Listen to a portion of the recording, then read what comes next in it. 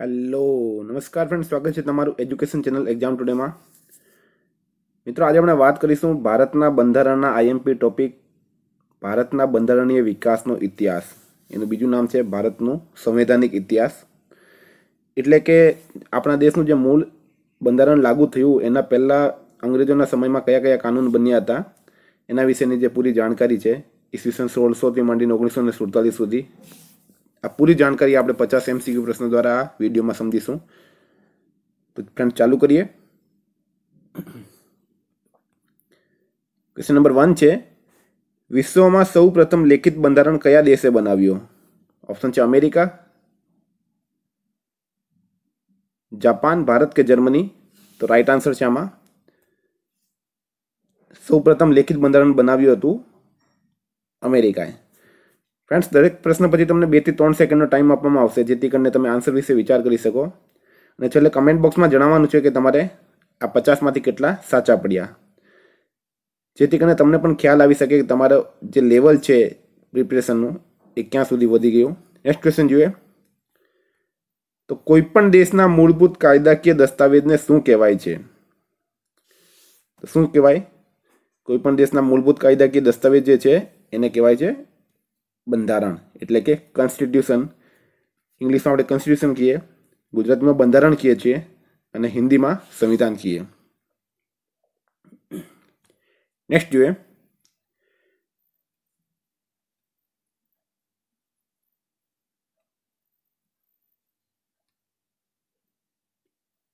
તો વિશ્વમાં સૌથી લાંબુ લેખિત બંધારણ કયા દેશનું છે? ઓપ્શન છે America B France C Germany કે ડી ભારત? તો મિત્રો રાઈટ આન્સર છે આમાં.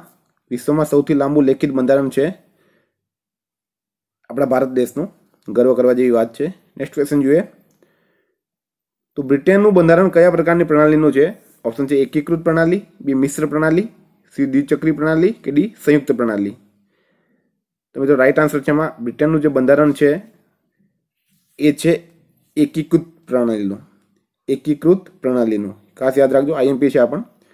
ખાસ કરીને પોલીસ અને બિન સચિવાલય માટે બંધારણમાંથી વધારે ક્વેશ્ચન પૂછાય છે. તો આ વીડિયો તમારા માટે બહુ જ ઉપયોગી છે. બેથી ત્રણ પ્રશ્નો આમાંથી પૂછાશે જ. નેક્સ્ટ ક્વેશ્ચન જોઈએ. તો ભારતનું બંધારણ કયા પ્રકારની પ્રણાલીનું છે? ઓપ્શન છે મિશ્ર પ્રણાલી, મિશ્ર પરંતુ વિશેષ સમવાય તંત્ર, એકીકૃત કે સમવાય તંત્ર? મિત્રો રાઈટ આન્સર છે આમાં મિશ્ર પરંતુ વિશેષ સમવાય તંત્ર પ્રણાલીનું છે ભારતનું બંધારણ. આગળ આપણે જોઈ ગયા હતા બ્રિટનનું જે બંધારણ હતું, એ હતું એકીકૃત પ્રણાલીનું નેક્સ્ટ જોઈએ તો ભારતમાં સૌ પ્રથમ અંગ્રેજો દ્વારા કોઠી ક્યાં અને ક્યારે સ્થાપવામાં આવી? તો મિત્રો રાઈટ આન્સર છે આમાં ઈસવીસન સોળસો ને તેરની અંદર સુરતમાં સ્થાપવામાં આવી હતી ભારતમાં અંગ્રેજો દ્વારા સૌ પ્રથમ કોઠી યાદ રાખજો આમાં અંગ્રેજોની વાત કરવામાં આવી છે. ફ્રેન્ચ કે ડચ લોકોની વાત કરવામાં આવી નથી. તો સુરત સોળસો ને તેર. નેક્સ્ટ જોઈએ. તો કયા કાયદાથી ભારતમાં સૌ પ્રથમ કંપનીના શાસન માટે લિખિત બંધારણની શરૂઆત થઈ? વેરી ઇમ્પોર્ટન્ટ શું છે રાઈટ આન્સર તો રાઈટ આન્સર છે ઈસવીસન seventeen seventy three regulating act examiner તમને એમ પણ પૂછી શકે રેગ્યુલેટિંગ એક્ટ ક્યારે પસાર થયો હતો? તો સત્તરસો ને તોતેરમાં અને સૌ પ્રથમ કંપનીના શાસન માટે લિખિત બંધારણની શરૂઆત ક્યારે થઈ? તો સત્તરસો તોતેર રેગ્યુલેટિંગ એક્ટ અને મિત્રો એ પણ કહેવાય છે કે આ ભારતનો સૌ પ્રથમ લિખિત કાયદો હતો અને ગુજરાતીમાં આપણે એને નિયામક ધારો તરીકે પણ ઓળખીએ છીએ. નેક્સ્ટ જોઈએ. તો બંગાળનો સૌ પ્રથમ ગવર્નર કોણ હતો? ઓપ્શન છે રોબર્ટ ક્લાઇવ કે વિલિયમ બેન્ટિક, વોરન હેન્સ્ટિગ્સ. તો મિત્રો, બધાને ખબર હશે કે બંગાળનો જે સૌ પ્રથમ ગવર્નર હતો, એ હતો રોબર્ટ ક્લાઇવ. બરાબર? બંગાળની વાત કરવામાં આવી છે, ભારતની વાત કરવામાં આવી નથી, અહીંયા કન્ફ્યુઝ નહીં થતા. બંગાળનો ગવર્નર બંગાળનો ગવર્નર જનરલ અને ભારતનો ગવર્નર જનરલ છે, એમાં તમને કન્ફ્યુઝ કરવાની પૂરેપૂરી કોશિશ કરશે. પરંતુ આપણે અહીંયા વાત કરવામાં આવી છે બંગાળનો સૌપ્રથમ ખાલી ગવર્નર. તો એ તો રોબર્ટ ક્લાઇવ નેક્સ્ટ જોઈએ. તો ભારતનો સૌપ્રથમ ગવર્નર જનરલ કોણ હતો? ઓપ્શન છે રોબર્ટ ક્લાઇવ વિલિયમ બેન્ટિંગ કે વોરન હેન્સ્ટિક્સ કે ડેલાઉસી તો મિત્રો રાઈટ આન્સર છે આમાં.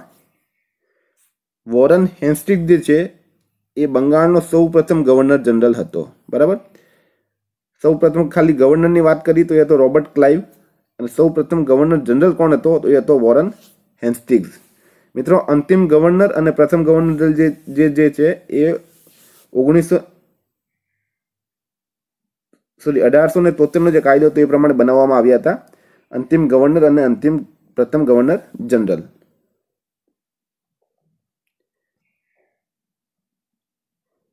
નેક્સ્ટ જોઈએ.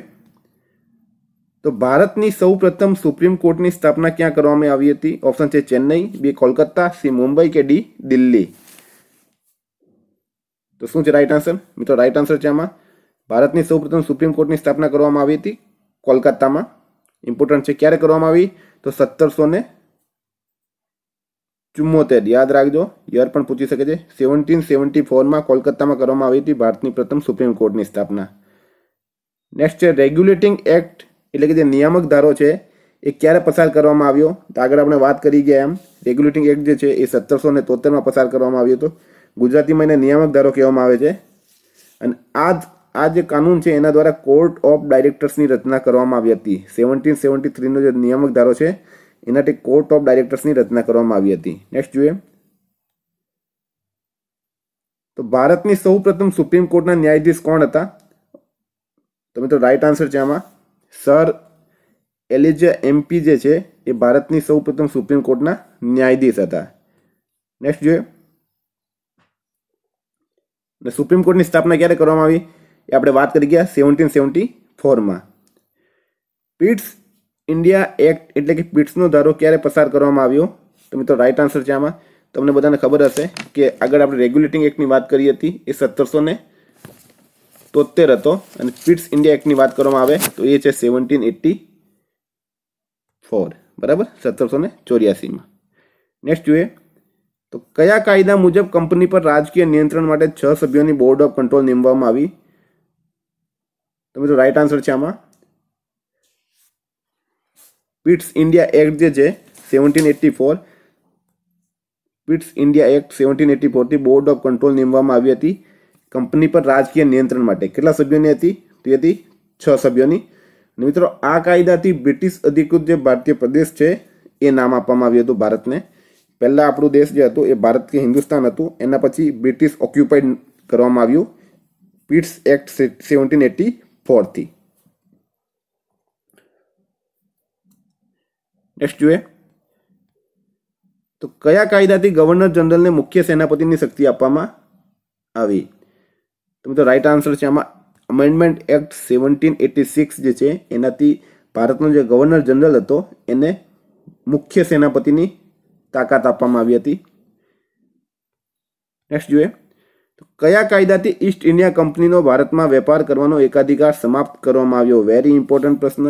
દરેક એક્ઝામમાં રિપીટ થાય છે કયા કાયદાથી ઈસ્ટ ઇન્ડિયા કંપનીનો ભારતમાં વેપાર કરવાનો એકાધિકાર સમાપ્ત કરવામાં આવ્યો?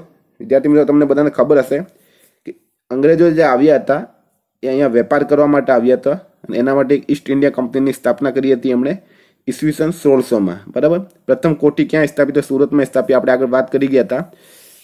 તો ત્યારથી માંડીને અત્યારે જે આ કાયદો પસાર થયો, અત્યાર સુધી ઈસ્ટ ઇન્ડિયા કંપનીનો ભારતમાં વેપાર કરવાનો એકાધિકાર હતો. પરંતુ આ કાયદા ત્યાં એકાધિકાર સમાપ્ત કરવામાં આવ્યો. અને કયો કાયદો હતો? તો મિત્રો, એ હતો charter act eighteen thirteen charter act અઢારસો તેર જે છે, એનાથી એકાધિકાર સમાપ્ત કરવામાં આવ્યો. નેક્સ્ટ જોઈએ. તો કયા કાયદાથી ઈસાઈ મિશનરીઓને ભારતમાં ધર્મ પ્રચાર કરવાની સુવિધા આપવામાં આવી?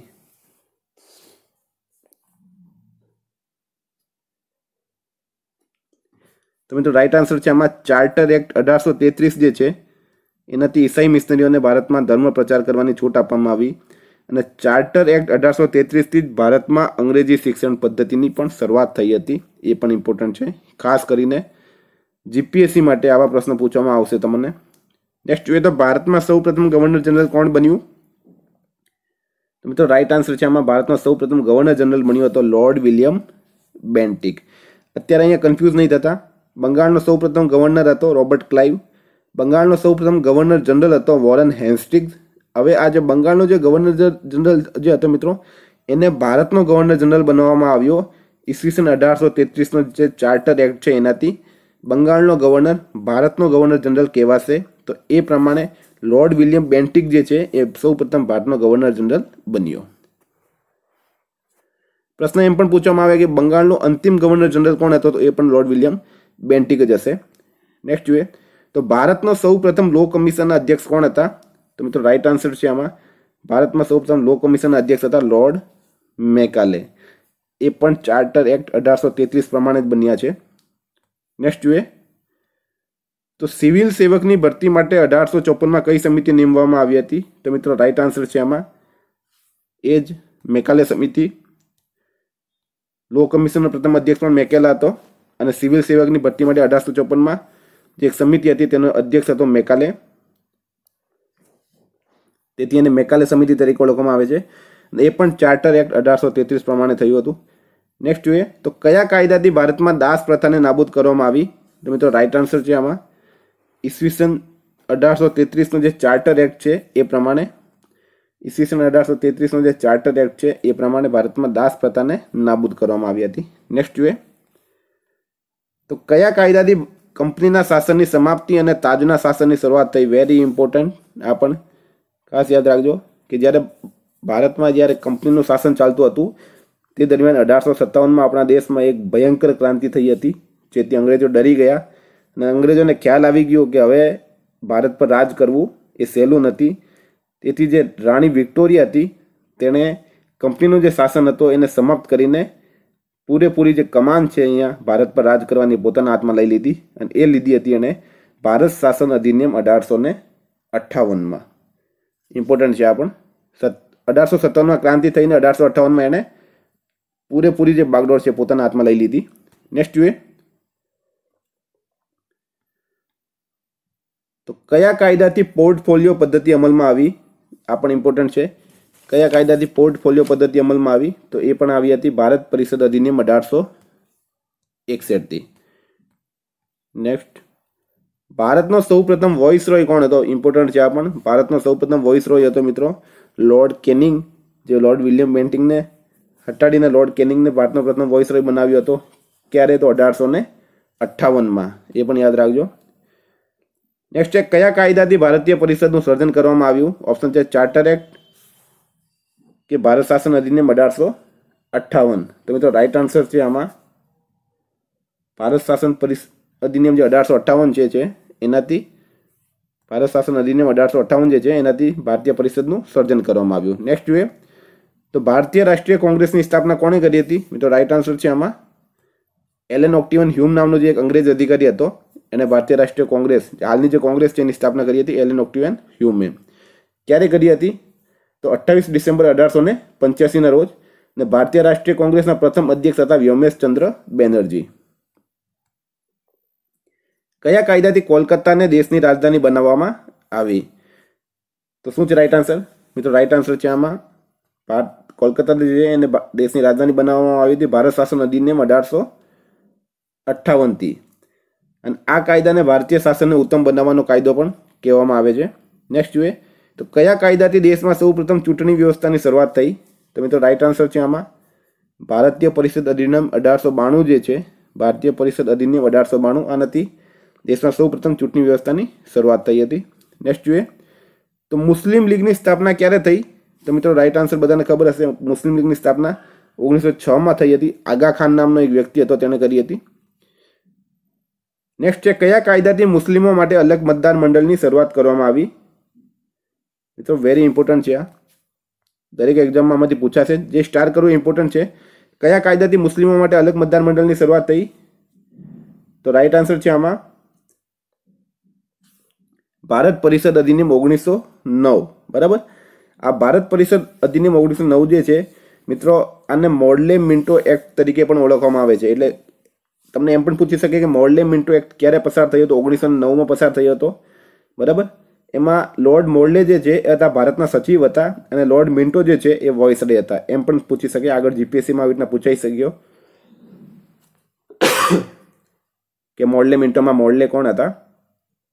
બીજી એક વાત કે આ કાયદા દ્વારા વોઇસરોયની જે કારોબારીમાં એક ભારતીય સભ્યની નિમણૂકની શરૂઆત થઈ હતી અને સૌ પ્રથમ ભારતીય સત્યેન્દ્ર પ્રસાદ સિન્હા હતા, જે વોઇસરોયની કારોબારીમાં સામેલ કરવામાં આવ્યા. નેક્સ્ટ જોઈએ.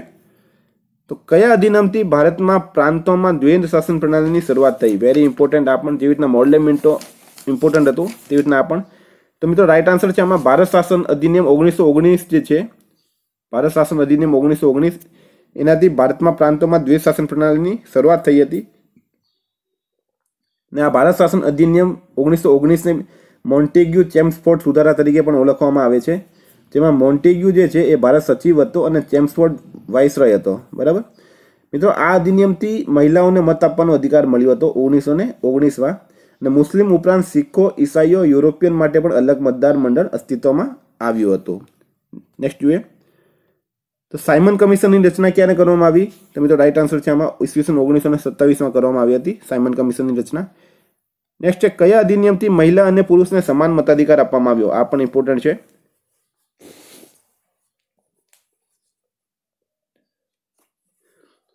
તો કયા અધિનિયમથી મહિલા અને પુરુષને સમાન મતાધિકાર આપવામાં આવ્યો?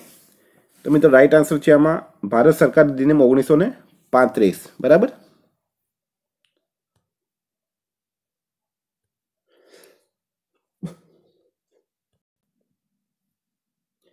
ભારત સરકાર અધિનિયમ ઓગણીસો પાંત્રીસથી મહિલા પુરુષને સમાન મતાધિકાર આપવામાં આવ્યો. નેક્સ્ટ જોઈએ. તો કયા અધિનિયમથી દેશમાં સૌ પ્રથમવાર કેન્દ્રમાં દ્વિગૃહી શાસન વ્યવસ્થાની શરૂઆત થઈ હતી? આ પણ ઇમ્પોર્ટન્ટ છે. તો મિત્રો રાઈટ આન્સર છે ભારત શાસન અધિનિયમ ઓગણીસો ને ઓગણીસ. આગળ વાત કરી આપણે. નેક્સ્ટ જોઈએ. તો ભારતીય રિઝર્વ બેંકની સ્થાપના ક્યારે કરવામાં આવી હતી? તો એ કરવામાં આવી હતી પહેલી એપ્રિલ ઓગણીસો ને પાંત્રીસના રોજ. ભારતીય રિઝર્વ બેંક. નેક્સ્ટ છે. ભારતમાં સૌ પ્રથમ સંઘીય ન્યાયાલયની સ્થાપના ક્યારે કરવામાં આવી હતી? તો મિત્રો રાઈટ આન્સર છે આમાં ઈસવીસન ઓગણીસો ને સાડત્રીસમાં કરવામાં આવી હતી. નેક્સ્ટ છે, કયા અધિનિયમથી કેન્દ્ર યાદી, રાજ્ય યાદી અને સંયુક્ત યાદી બનાવવામાં આવી હતી? ઇમ્પોર્ટન્ટ છે આ પણ. તો એ બનાવવામાં આવી હતી ભારત શાસન અધિનિયમ ઓગણીસો ને પાંત્રીસ, જેને આપણું મિની કોન્સ્ટિટ્યુશન કહેવામાં આવે. સેવન્ટી ટકા જે આપણું ભારતનું સંવિધાન છે, એમાં ભારત શાસન અધિનિયમમાંથી લેવામાં આવ્યું. અને આનાથી દ્વૈત શાસન પ્રણાલીનો પણ અંત કરવામાં આવ્યો હતો. નેક્સ્ટ છે, ઓગસ્ટ પ્રસ્તાવ ક્યારે રજૂ કરવામાં આવ્યું? તો મિત્રો બધાને ખબર હશે, ઈસવીસન ઓગણીસો ચાલીસમાં કરવામાં આવ્યું હતું ઓગસ્ટ પ્રસ્તાવ. અને એના જે અધ્યક્ષ હતા એ હતા લોર્ડ લિન લેતેગો એણે રજૂ કર્યું હતું. નેક્સ્ટ છે ક્રિપ્સ યોજના ક્યારે રજૂ કરવામાં આવી? તો મિત્રો આનો રાઈટ આન્સર છે, ઈસવીસન ઓગણીસો ને બેતાલીસમાં કરવામાં આવી હતી. ક્રિપ્સ યોજના અને એને રજૂ કરી હતી સર સ્ટેપર્ડ ક્રિપ્સે નેક્સ્ટ છે વેવેલ યોજના ક્યારે રજૂ કરવામાં આવી હતી? તો મિત્રો વેવેલ યોજના રજૂ કરવામાં આવી હતી ઈસવીસન ઓગણીસો ને પિસ્તાલીસમાં અને એ કરી હતી વોઇસ રોય લોર્ડ વેવેલે નેક્સ્ટ છે કેબિનેટ કેબિનેટ મિશન યોજનાના અધ્યક્ષ કોણ હતા? તો એનું રાઈટ આન્સર છે સર પેન્થિક લોરેન્સ જે છે, એ કેબિનેટ મિશન યોજનાના અધ્યક્ષ હતા. અને મિત્રો, ઉપરના જે આ ત્રણે ત્રણ છે, આ ત્રણે ત્રણ આના સભ્ય હતા. બરાબર? એ પણ યાદ રાખવાનું છે. આગળ જીપીએસસીમાં પૂછાઈ ગયું કે આ ત્રણમાંથી કયો સભ્ય હતો? ઉપરના ત્રણેય સભ્ય હતા એ કેબિનેટ મિશન જે યોજના છે ઈસવીસન ઓગણીસો ને છેતાલીસમાં પસાર કરવામાં આવી. નેક્સ્ટ જોઈએ. તો ભારતની બંધારણ સભાની રચના કઈ યોજનાના આધારે કરવામાં આવી? તો આગળ આપણે જોઈ ગયા એમ ઈસવીસન ઓગણીસો છેતાલીસની કેબિનેટ મિશન યોજનાના આધારે કરવામાં આવી. નેક્સ્ટ છે, મુસ્લિમ લીગે કયા દિવસને પ્રત્યક્ષ કાર્યવાહી દિવસ તરીકે ઉજવવામાં આવ્યો? તો મિત્રો રાઈટ આન્સર છે એમાં સોળ ઓગસ્ટ ઓગણીસો ને છેતાલીસને. નેક્સ્ટ જવાહરલાલ નહેરુના વડાપ્રધાન પદ હેઠળ કામ ચલાવ સરકારની રચના ક્યારે કરવામાં આવી? તો મિત્રો રાઈટ આન્સર છે આમાં. બીજી સપ્ટેમ્બર ઓગણીસો ને છેતાલીસના રોજ. નેક્સ્ટ છે, કામ ચલાવ સરકારના ગ્રહ સૂચના પ્રસારણ મંત્રી કોણ હતા? તો એનો રાઈટ આન્સર છે, એ હતા આપણા સરદાર વલ્લભભાઈ પટેલ. બરાબર? નેક્સ્ટ છે કામચલાઉ સરકારમાં નાણામંત્રી કોણ હતા? તો મિત્રો રાઈટ આન્સર છે આમાં લિયાકત અલી ખાન જે છે, એ નાણામંત્રી હતા કામચલાઉ સરકારમાં. નેક્સ્ટ છે, ભારતનું વિભાજન અને સ્વતંત્રતા કઈ યોજના અંતર્ગત થઈ હતી? તો મિત્રો બધાને ખબર હશે. એ હતી માઉન્ટ બેટન યોજના, જે લોર્ડ માઉન્ટ બેટને રજૂ કરી હતી. ભારતનો અંતિમ જેને આપણે કહીએ વોઇસરોય એ હતા લોર્ડ માઉન્ટ બેટન નેક્સ્ટ છે ભારતની સ્વતંત્રતા સમય ઇંગ્લેન્ડમાં કઈ પાર્ટીની સરકાર હતી? વેરી ઇમ્પોર્ટન્ટ આગળ જીપીએસસી બે હજાર સત્તરમાં પૂછાઈ ગયું હતું. તો એ હતી લેબર પાર્ટીની સરકાર, જે ટાઈમે ભારતને સ્વતંત્રતા મળી હતી. અને આનું નેક્સ્ટ છે પછી, ભારતની સ્વતંત્રતા સમયે ઇંગ્લેન્ડમાં વડાપ્રધાન કોણ હતા? પીએસઆઈ બે હજાર અઢારમાં પૂછાઈ ગયેલું હતું આ. ભારતની સ્વતંત્ર સમયે સોરી બે હજાર સત્તરમાં ભારતની સ્વતંત્ર સમયે ઇંગ્લેન્ડના વડાપ્રધાન કોણ હતા? તો મિત્રો, એ હતા ક્લેમેન્ટ ક્લેમેન્ટ એટલી. તો વિદ્યાર્થી મિત્રો, આ હતા ભારતના બંધારણના આઈએમપી ટોપિક બંધારણીય વિકાસના પચાસ એમસીક્યુ પ્રશ્નો. તો આવી રીતના જીપીએસસી પોલીસ બિન સચિવાલયનો પૂરો સિલેબસ આ ચેનલ પર એમસીક્યુ ટેસ્ટ દ્વારા પૂરો કરવામાં આવશે.